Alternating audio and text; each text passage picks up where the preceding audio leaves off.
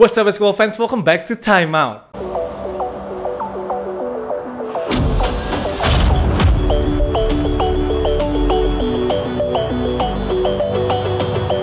Balik dengan gue Padilla, kita kembali lagi ke info basket hari ini untuk edisi 10 September 2020. Langsung aja kita membahas game yang paling seru hari ini yaitu Toronto Raptors nih berhasil memasakkan game ke-7 setelah mengalahkan Boston Celtics dengan skor 125-122 lewat double overtime.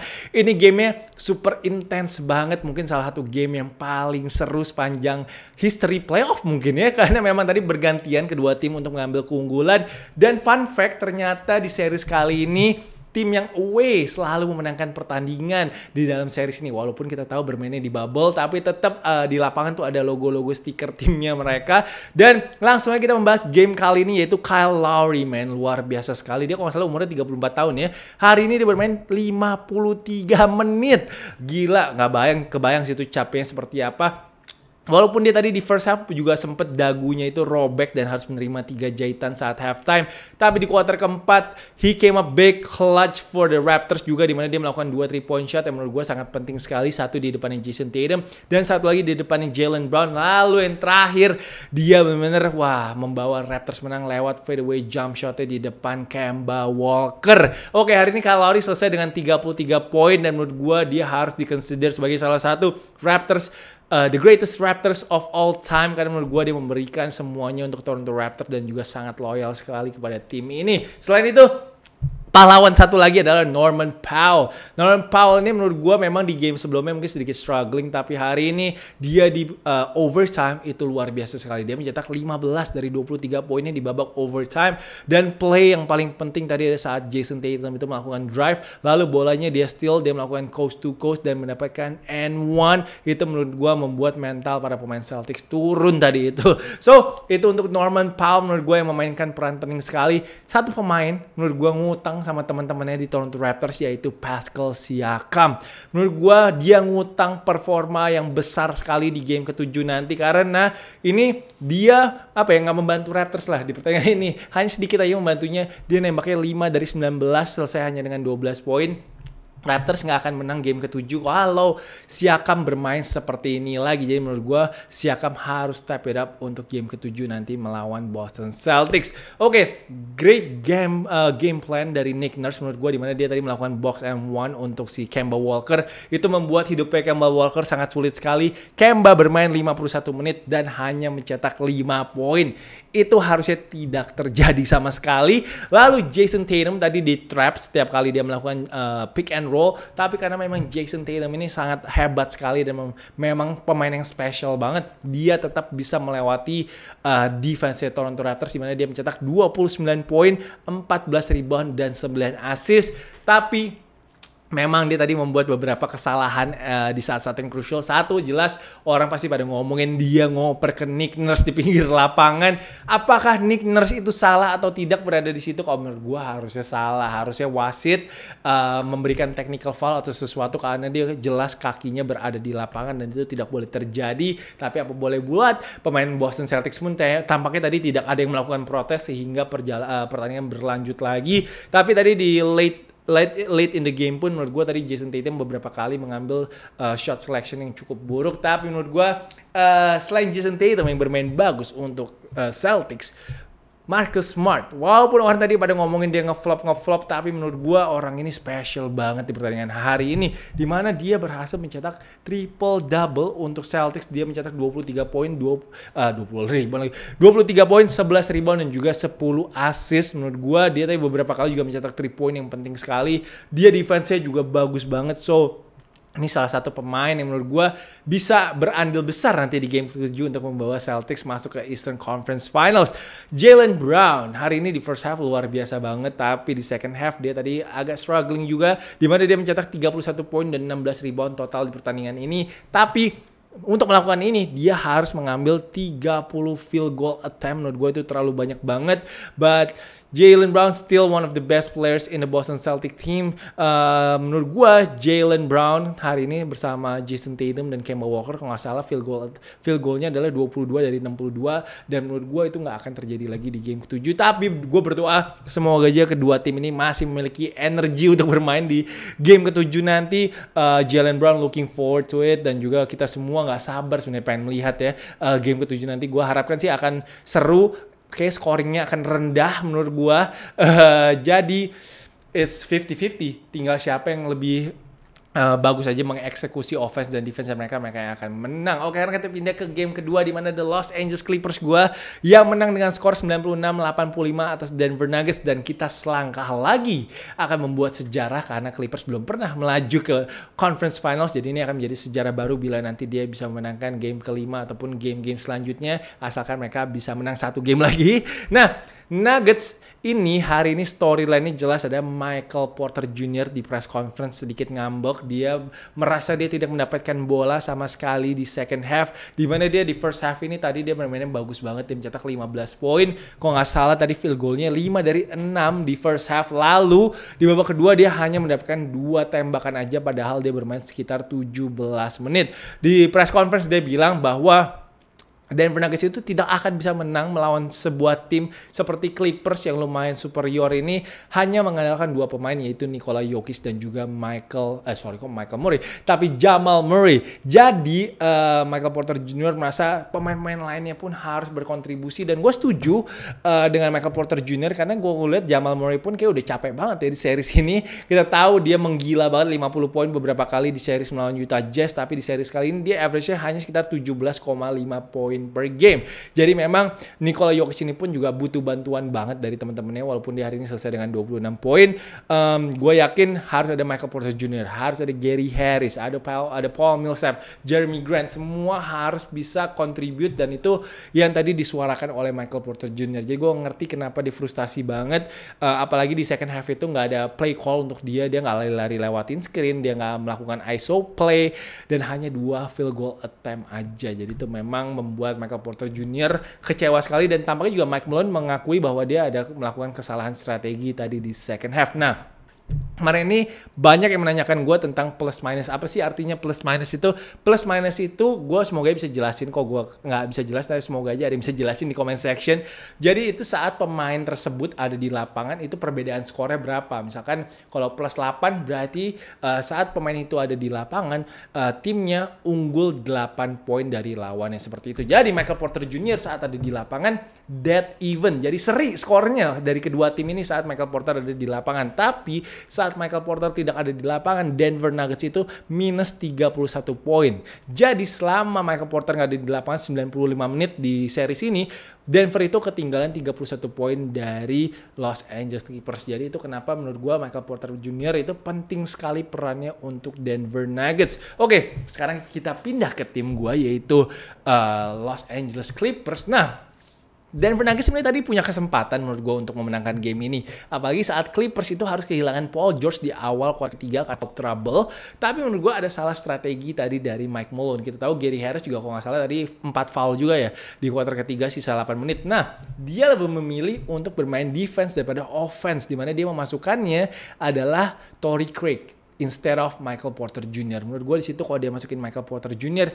itu bisa mendongkrak dikit offense-nya Nuggets dan itu mungkin bisa menjadi cerita yang berbeda tadi. Tapi untungnya Mike Malone melakukan kesalahan di situ menurut gue dan itu kind of cost the game for the Denver Nuggets. Nah, tapi hari ini yang cost the game for the Denver Nuggets juga adalah Kawhi Leonard ini dia benar mendominasi hari ini dengan 30 poin, 11 rebound, 9 assist dan juga 4 steals. Kita tahu Kawhi dua game terakhir kali ya memang sedikit struggling dengan shootingnya. Akhirnya dia bisa shake off his, shook off his slump dan akhirnya bisa balik lagi seperti Kawhi Leonard biasanya. Dan satu lagi, gue suka banget akhirnya melihat si Montrezl Harrell pun mendapatkan energinya lagi di hari ini selesai dengan 15 poin karena menurut gue perannya Montrezl Harrell, uh, Ivica Zubac, Lou Will, uh, Marcus Morris ini semua akan penting banget untuk membawa Clippers sukses di playoff kali ini. So one more win untuk Clippers untuk bisa melaju ke conference finals dan sebentar lagi kita mungkin bisa menyaksikan Battle of LA. Tapi, tapi gue gak mau terlalu cepat karena besok game keempat ya untuk Lakers. Kalau Lakers kalah besok bisa seri itu dua-dua.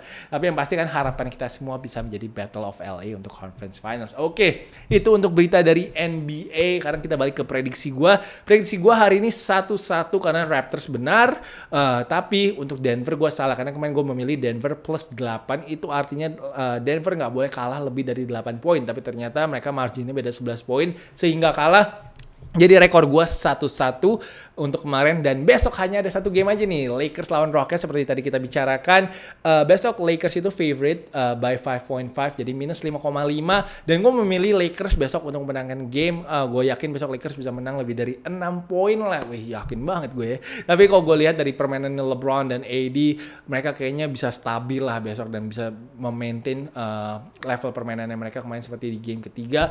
Uh, kayaknya Rockets pun offense sedikit mandek nih ya tapi uh, besok berita bagusnya adalah Robert Covington katanya bisa bermain karena nggak ada patah hidung kemarin ini, so nggak perlu mengikuti protokol untuk concussion. So Robert Covington looks like it's uh, it's a go for him. And then tapi ada satu lagi nih, Daniel House Jr. tampaknya tidak bisa bermain. Katanya uh, dia melanggar sebuah peraturan di NBA bubble. Gue nggak belum membaca lebih pastinya apa, tapi ada artikelnya tadi dari Adrian Wojnarowski dan tampaknya Daniel House Jr. besok tidak bisa bermain. Itu kehilangan besar karena dia juga seorang three point dan juga defender yang bagus untuk Houston Rockets. So besok Eric Gordon, Austin Rivers, uh, PJ Tucker harus step up membantu Russell Westbrook dan juga uh, James Harden.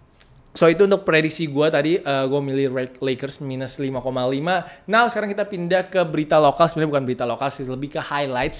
Jadi uh, tim nasional Indonesia ini sebenarnya sudah menjalankan sparring dua kali melawan Hang Tua. Mereka menang dengan skor 89-73 di mana di situ Brandon Joaro mendominasi dengan 21 poin dan juga Abraham menyumbangkan 16 poin sedangkan dari Hang Tua ada Neno yang on fire 6 kali 3 poin dan dia selesai dengan 24 poin. Lalu ada pertandingan kedua hari ini mereka berjalan uh, mereka menang atas Prawira Bandung dengan skor 92-67 di mana Abraham Damar Grahita kembali luar biasa. Dia bermain 22 menit dan mencetak 19 poin. Lalu ada Arki yang mencetak 14 poin 5 dari 5 field goalnya. Dan juga Laurentius Oi yang mencetak 13 poin. Ini tampaknya memang Laurentius Oi ini uh, cocok banget dengan sistemnya coach Raiko Toroman ya kalau dia mendapatkan kesempatan untuk bermain. Uh, Kevin Jonas juga hari ini mencetak 12 poin. Nah Main banyak banget yang nanyain gue dan juga menagih gue untuk game highlights. Nah game highlights itu agak susah ya guys ya karena gue ada di Jakarta, gamenya ada di Bandung, jadi gue nggak mungkin tiba-tiba ada di sana. Dan juga katanya masih tertutup hanya untuk official aja, media belum boleh meliput karena kita tahu kondisinya masih seperti ini. Mereka masih mencoba untuk menjaga ketat agar pemain-pemainnya aman semua kesehatannya. Jadi gue bisa mengerti banget apa yang dilakukan oleh tim nasional Indonesia. Jadi untuk game highlights kita berharap saja sama Bro Raul kita. Bro Raul ini rajin sekali untuk melakukan rekaman di instastory-nya. Jadi gue terima kasih banget untuk Raul. Dia tadi share gue untuk video dan juga untuk box scores-nya. So thank you so much, I really appreciate it. Jadi untuk so far hanya bisa memberikan highlights dari HP-nya Raul dulu aja ya guys. Uh, semoga kondisi akan membaik. Karena kan di Jakarta pun mulai hari Senin nanti akan ada PSBB ketat lagi seperti waktu awal pandemi dan ini pasti akan membuat gua lebih sulit lagi untuk melakukan liputan. Pasti tim-tim akan melarang orang-orang yang bukan di dalam lingkungan mereka untuk bisa meliput latihan ataupun liput uh, pertandingan sparring mereka. Apalagi kita tahu IBL kurang dari sebulan lagi. Jadi pasti tim-tim IBL udah mulai latihan dan akan mulai sparring. Tapi gua menghormati keputusan semua tim. Bila memang mereka tidak mau diliput gua tidak apa-apa. Karena ini juga demi kebaikan kita semua. So guys, kalau gitu tanpa panjang lebar lagi, kita langsung aja lihat highlights dari pertandingan sparring tim nasional Indonesia.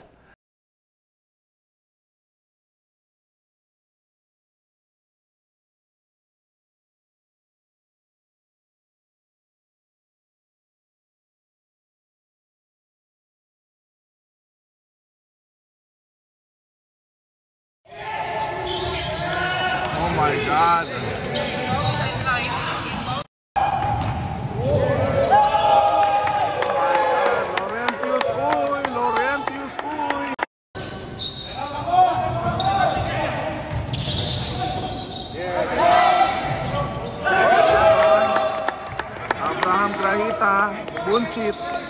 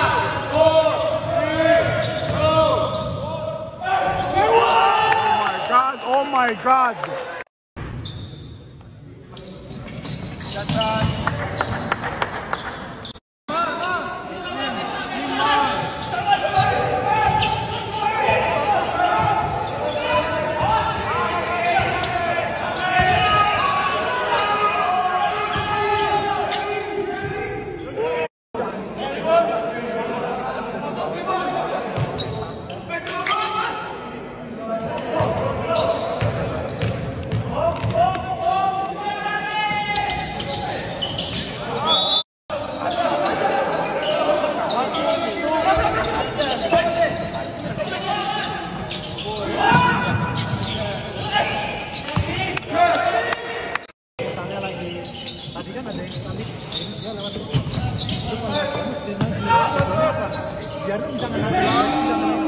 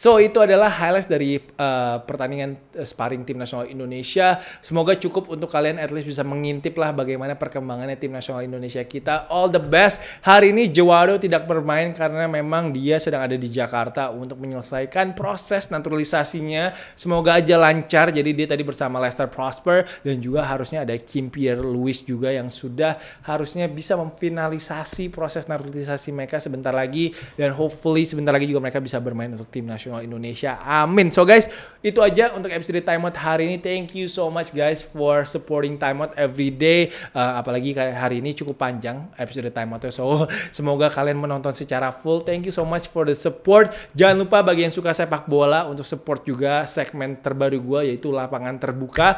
Uh, hari ini gue membahas tentang Chelsea dan juga Everton serta Me- Messi dan juga ada Cristiano Ronaldo juga. So jangan lupa untuk ditonton videonya. Thank you so much guys. Once again jangan lupa untuk like, jangan lupa untuk comment, and jangan lupa untuk subscribe. Thank you guys for watching. I'll see you guys tomorrow. Peace.